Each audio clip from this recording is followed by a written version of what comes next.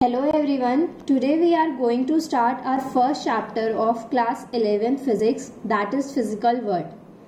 और अगर आपको ये, मेरी ये वीडियो पसंद आए तो प्लीज़ मेरे चैनल को लाइक शेयर एंड सब्सक्राइब कीजिए।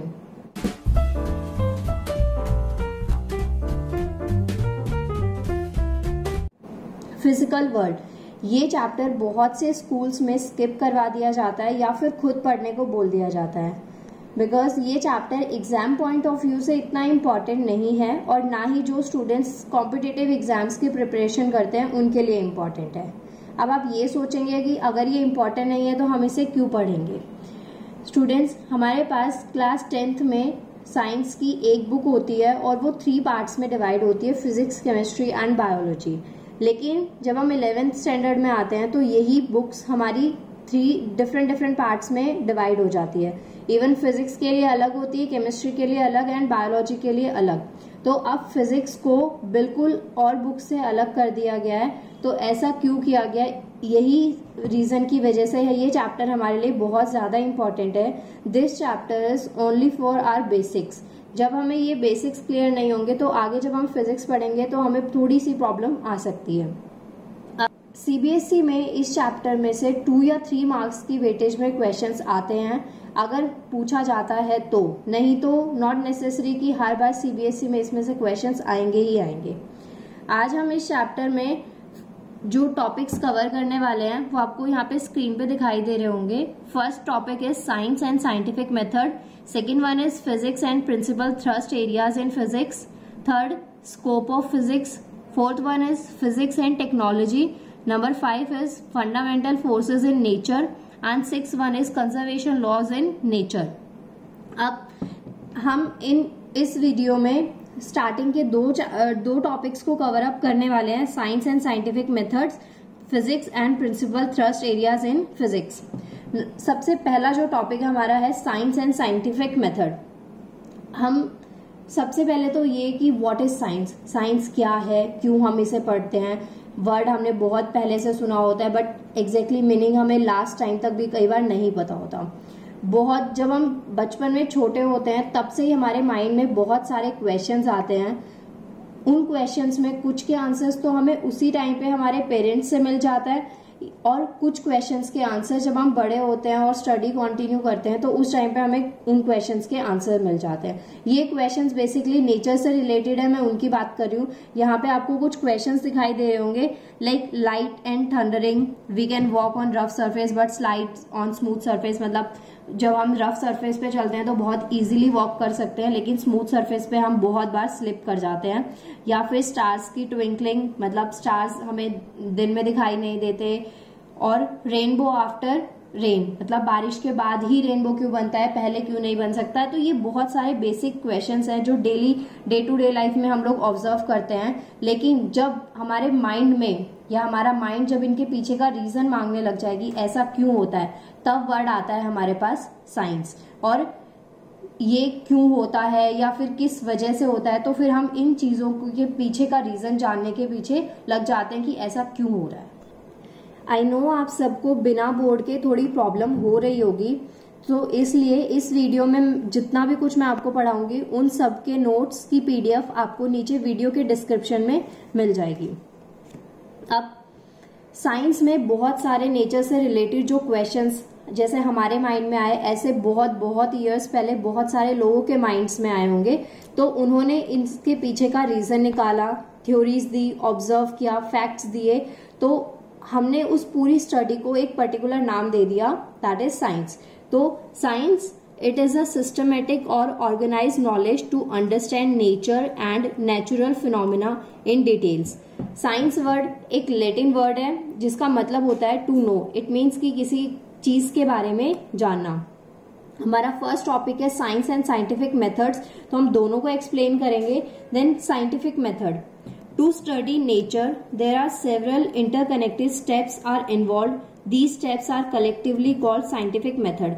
जब हम मेथड की बात करते हैं तो इट मीन्स कि किसी चीज़ को पूरे ऑर्गेनाइज्ड वे में पढ़ना मतलब स्टार्टिंग टू एंड किसी चीज़ के बारे में पूरी थ्योरी देना और अगर वो गलत लगे तो उसको रिजेक्ट करके फिर दोबारा से रीस्टार्ट करना अब जब हम साइंटिफिक मेथड्स पढ़ते हैं तो उसमें हमारे पास सिक्स मेथड्स आते हैं फ़र्स्ट इन्हें हम मेथड्स नहीं स्टेप्स भी बोल सकते हैं। तो सबसे पहला आता है systematic observation second one is controlled experiments third is qualitative and quantitative reasoning number fourth mathematical model number five predictions and number six is verification अब सबसे पहला आता है आपका सिस्टमेटिक ऑब्जर्वेशन इसका मतलब होता है कि कोई भी चीज़ हो रही है, उसे आपने ऑब्ज़र्व किया या फिर नोटिस किया।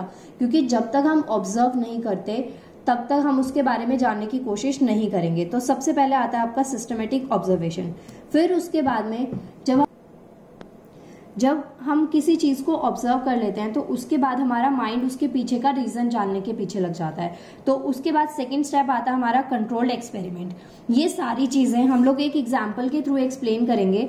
आप सबने बहुत ही बेसिक सा एक एग्ज़ाम्पल बहुत टाइम से पहले ही सुना होता है कि एप्पल ट्री से एक एप्पल का गिरना।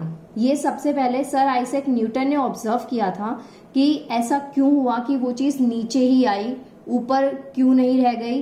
तो उन्होंने सबसे पहला जो स्टेप था उनका उन्होंने ऑब्ज़र्व किया। सेकेंड जब उन्होंने ये चीज़ ऑब्ज़र्व करी तो उसके बाद में उनके माइंड में आया कि अब इसके पीछे का रीजन क्या हो सकता है। तो इस चीज़ को टेस्ट करने के लिए वो इस सारी चीज़ों को लैब तक ले गए। लैब में उन्होंने एक्सपेरिमेंट किया। एक्सपेरिमेंट इन दैट वे कि उन्होंने ये चीज़ देखी कि अगर सिर्फ़ ऊपर से नीचे कोई फ्रूट है या फिर ऐसी कोई लाइट वेट चीज़ ही आ रही है या फिर किसी चीज़ का मास बहुत ज़्यादा होगा तो वो चीज़ भी ऊपर से नीचे आएगी, या फिर किसी चीज़ को हम नीचे से ऊपर पूरे फोर्स के साथ फेंकते हैं तो क्या वो भी नीचे ही आएगी? तो ये बहुत सारे क्वेश्चन है जिनको लेकर उन्होंने एक्सपेरिमेंट किया पर्टिकुलर रीजनिंग दी। अब यहाँ पे हमारे पास मैथमेटिकल मॉडल आपने एक वर्ड देखा है। अब इसका मतलब होता है कि किसी चीज़ को एक फॉर्मूले के साथ में डिफाइन करना। ये बताना कि अगर हमने कोई थ्योरी करी है तो वो किस फॉर्मूले पे बेस्ड थी या किस तरीके से हमने उसको डिफाइन किया? क्योंकि physics without formula is incomplete ये दोनों फॉर्मुलेस हमने क्लास टेंथ में पढ़े होते हैं. F is equal to M F is force M mass A is acceleration and equation of motion three equation of motion होती हैं जो हमें न्यूटन से मिली थी। ये सब हमने पढ़ी हुई होती हैं। तो एक बेसिकली हमने जब इसे न्यूमेरिकल फॉर्म में या नंबर के फॉर्म में पढ़ा तो हमारे पास वर्ड आया मैथमेटिकल मॉडल इसके बाद में उन्होंने ये चीज़ देखी कि क्या ये चीज़ें सिर्फ़ लैब तक लिमिटेड है या फिर नेचर में भी अगर हम सारे एक्सपेरिमेंट्स को करके देखते हैं तो क्या ये पॉसिबल होता है? तो हमारे पास प्रिडिक्शन वर्ड आता है। प्रिडिक्शन का मतलब होता है कि जो एक्सपेरिमेंट्स करे, क्या वो सारे ठीक थे? क्या वो हर चीज़ को लेकर ठीक थे? या फिर उनमें कुछ गलतियाँ थी? उसके बाद में नेक्स्ट स्टेप आता है आपका वेरिफिकेशन तो जो चीज़ हो गई, जो एक्सपेरिमेंट्स हमें मिले या जो ऑब्जर्वेशन हमने ली, उसके बेसिस पे हमने जो फैक्ट्स एंड थ्योरीज दी, क्या वो हमारे लिए पूरी प्रॉपर वे में ठीक थी? क्या उनमें कोई कमी नहीं रह गई थी? तो ये सारे क्वेश्चंस को माइंड में सेटअप करने के बाद में एक पर्टिकुलर फॉर्मूले या किसी लॉ को फुल एंड फाइनल किया जाता है कि यस अब ये इसे पढ़ा जा सकता है और इस थ्योरी को हम आगे भी दे सकते हैं। As I told you earlier science is ever dynamic not static it means कि साइंस में कुछ भी फिक्स नहीं होता है। फैक्ट्स एंड ऑब्जर्वेशन के बेसिस पे चीज़ें बदलती रहती हैं। बट साइंस में एक मज़े की बात यह है कि अगर कोई एक्सपेरिमेंट किसी साइंटिस्ट ने किया है और अगर वो उसमें फेल भी हो जाते हैं तो भी हम उस स्टडी को करते हैं।